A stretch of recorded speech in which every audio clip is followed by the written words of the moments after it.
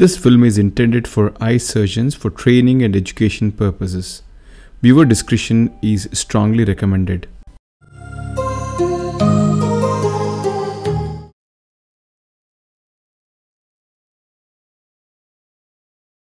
Hi, I'm Dr. Deepak Megur, and today's case is about an elderly male patient who has this hypermature Morgagnian cataract with a mid-dilated pupil. It doesn't dilate enough. And uh, these are the challenges we are anticipating. The zonules are expected to be weak. The capsulotomy is going to be very difficult because we can see these calcified specks. And uh, add on to that we may have zonular weakness also in this patient. So poor visualization because of the pupil as well as visualization issues which would arise once we puncture the anterior capsule.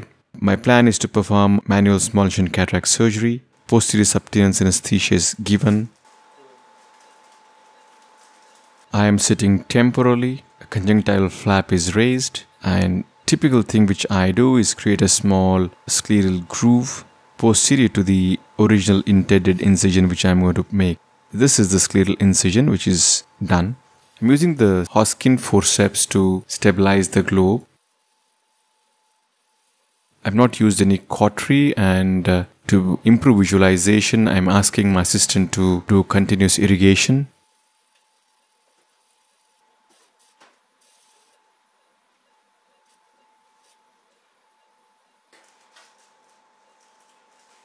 The side ports are created.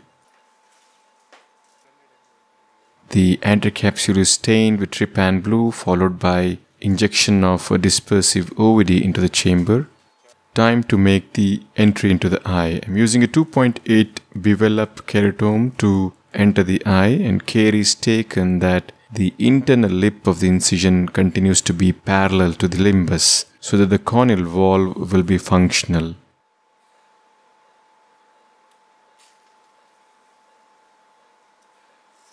I want to do a stretch pupilloplasty so I'm injecting OVD under the iris and then using two Y hooks through the side ports I'm stretching the pupil. I'm hoping that this would serve the purpose of improved visualization. Pupil is slightly better. The anterior capsule is punctured with a bent 26 number needle as expected.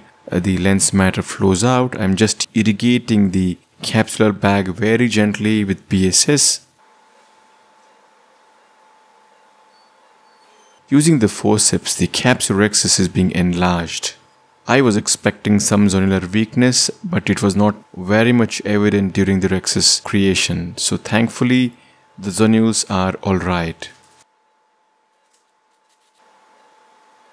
The tiny uh, Morgagnian nucleus is manipulated out of the bag and then simultaneously out of the eye using the two Sinskey hooks.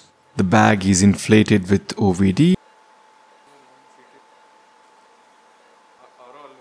I'm retracting the pupil to ensure that the ring has truly gone behind the rhexis margin. Time to implant the lens. The single piece foldable lens is then implanted into the capsular bag.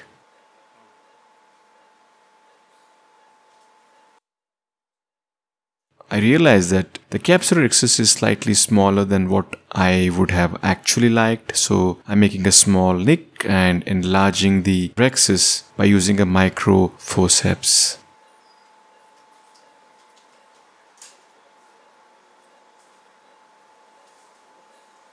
The lens is tilted up to irrigate out all the OVD which has gone behind the lens.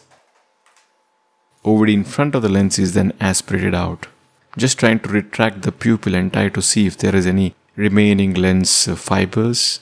Side ports are hydrated, time to close.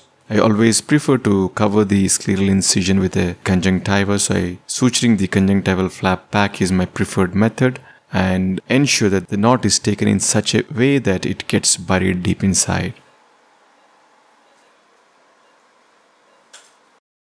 This is the first day post-op picture.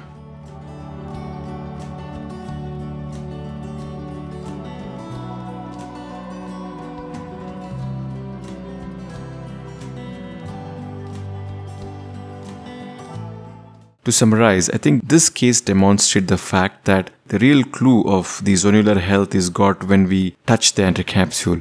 So I was expecting the severe zonular weakness in this patient, but it wasn't meant to be because the moment I started tearing it, the tearing was quite easy and effortless, which is not possible in eyes with generalized zonular weakness. So although I had planned that you know the zonules would be weak and I had made up a mind to implant the CTR before even removing the nucleus out, but that was not necessary in this case because the zonules were reasonably healthy and the rhexis could be very well performed and that's the reason I could postpone the insertion of the CTR at the end. But nevertheless, anticipating zonular weakness and being ready with the necessary tools is definitely going to be helpful. That was it. Thank you for watching and hope you found this helpful.